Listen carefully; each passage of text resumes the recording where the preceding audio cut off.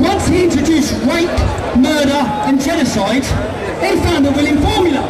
And that's what it's still spread with now today across the world.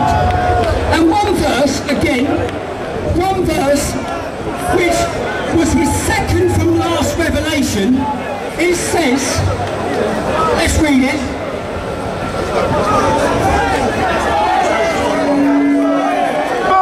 The reason why, the reason why I'm reading it and picking it out, because the average person in Britain, when you say this is in the Quran, they don't believe you. When you say Mohammed murdered, he has sex with child, don't believe you. So we see now the, gov- the government are, are introducing education within our schools, Islamic studies. My daughter is five years old. She came home from school last week and she asked her mother, does she go to the mosque? This is a gospel truth. Does she attend the mosque? Special place where people pray.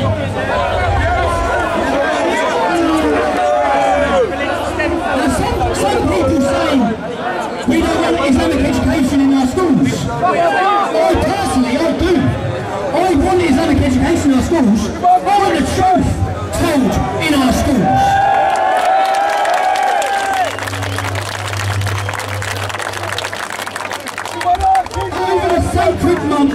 Slay the non-Muslims wherever you find them.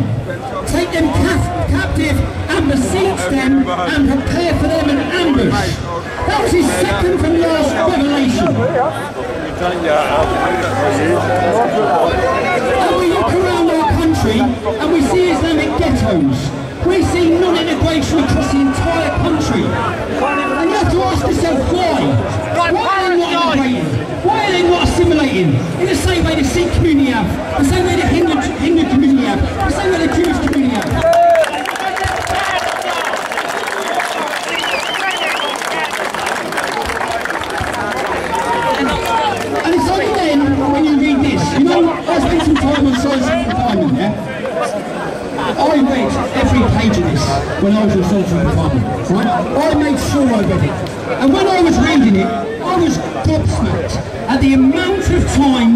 But clearly says, do not take Jews or Christians as your friends.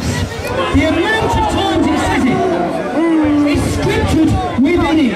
It says that you will go to the hellfire, you are a hypocrite. It's all written within it. And what we've seen, last week I went to Keighley. I met with two Islamic leaders, and I met with an ex-Labour politician called Anne Cryer. We had a discussion which was recorded about Muslim grooming gangs, paedophile gangs within Islam. We've all seen in the last few years, and again, Anne Cryer said she has been very outspoken against grooming gangs since 2002. In 2002, she had eight mothers go to her and beg her as their local politician, because they've already gone to the police, they've already gone to social services, and they've refused these families whose daughters are being groomed, raped and sexually abused by large groups of Muslim men.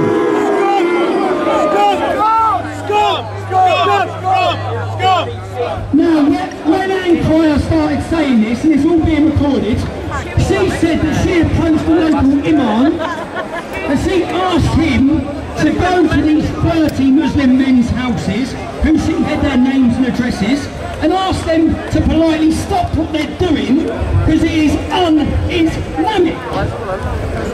Now, un-Islamic? I said, Anne, how, and what basis do you say it's un-Islamic? And I had the Quran then. I said, Anne, have you read this book? No, she hadn't read the book. So I said, you're defending something you know nothing about. And you're going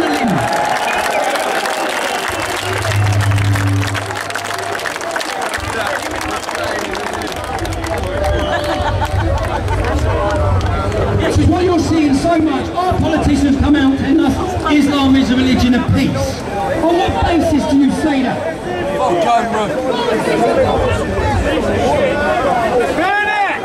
And when she said that, I quoted to her Surah 4, verse 3. It clearly states, outside of your four wives of marriage, you can take whatever your right arm possesses as sexual captive. Taking non-Muslim grooming gangs are taking numerous women as sexual slaves?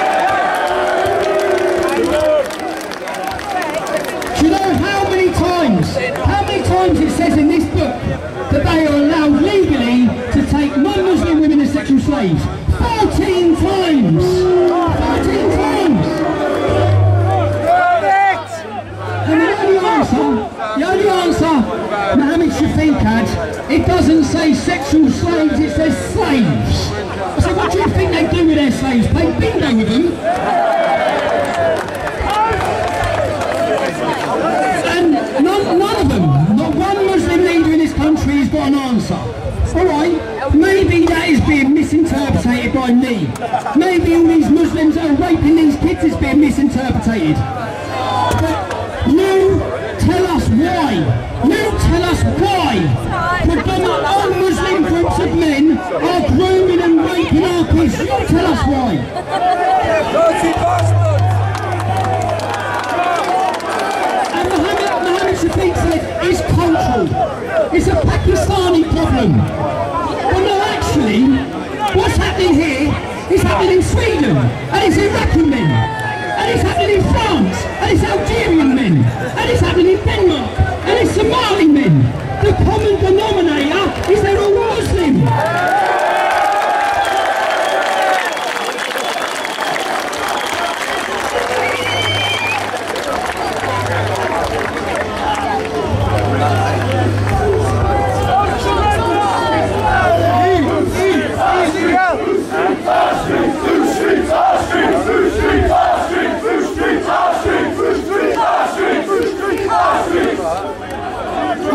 as well, from, on, on behalf of myself, on behalf of everyone, I want to thank every one of you. Yeah? I want to thank every one of you.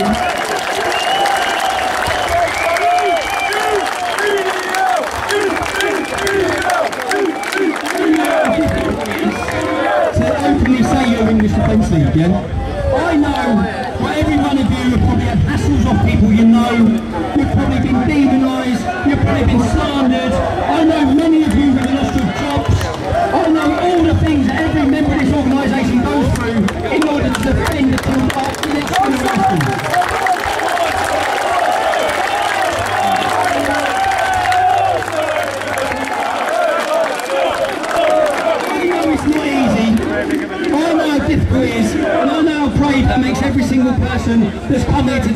to not care. That's what you're getting. We don't care what you say about us. we history will history will prove we were right.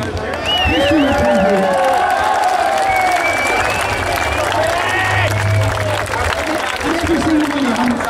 At the minute you're being judged, we're all being judged. It doesn't matter because history will judge us.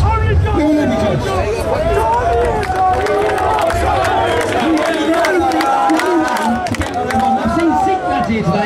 Different people here today. We don't need 100,000 people on the street. yeah? All we need is for the politicians to realise that this movement has got the support of the British public. We've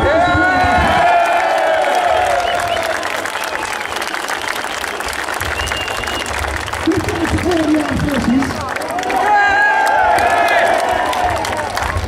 Why, why wouldn't the armed forces support us? They are trained and bought and trained into defending this country against Islamist ideology in faraway fields where they're suffering in it.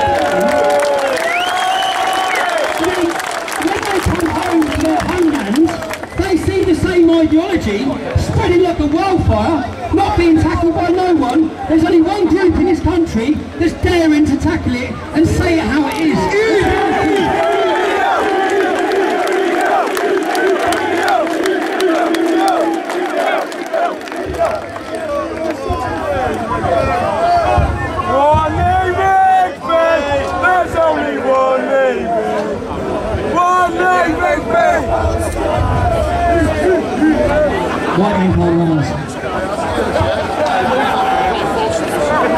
From here lads, on September 7th we'll be going into Tower Hamlets.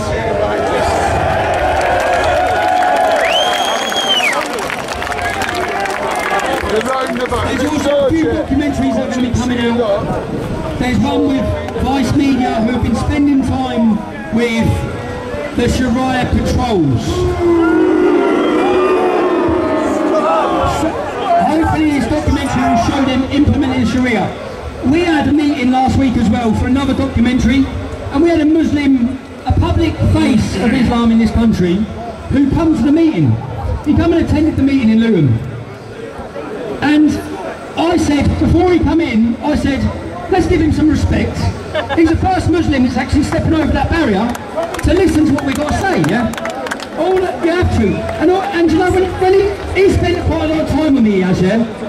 And in the meeting, he started off by saying, a year ago, I was in, a, I was in this camp, and I wanted this organisation banned and prescribed. And after meeting your supporters and your members, I've now moved to this camp. And I understand that it's time that we sit down and we listen to your concerns, and we listen and we understand.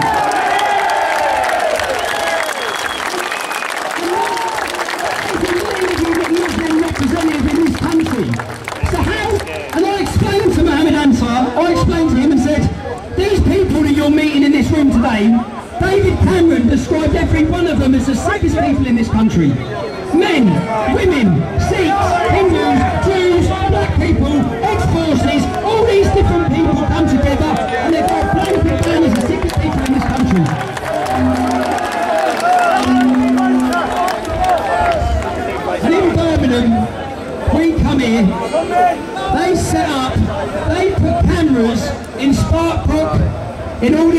Islamic areas. Counter-terrorism put these cameras up because they felt the need to monitor these communities. Due to political correctness and the fact that the Muslims were offended that cameras were put in their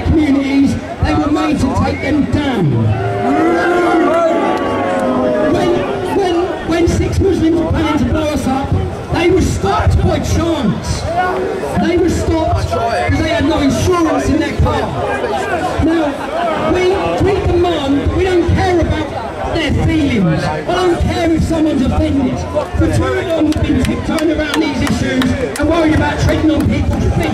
Right now, right now, we need to be stamping on their feet and telling them.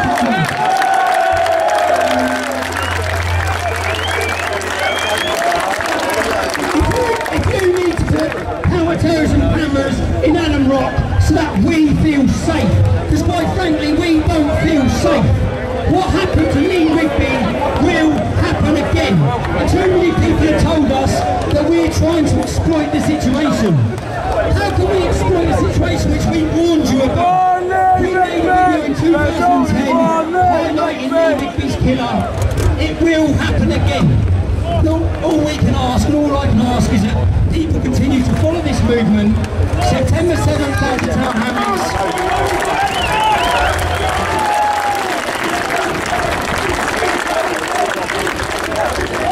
It's people power and just then I'm just going to finish my speech now. I've seen an old gentleman standing here, Chris Beret on, although we've got another one giving a speech.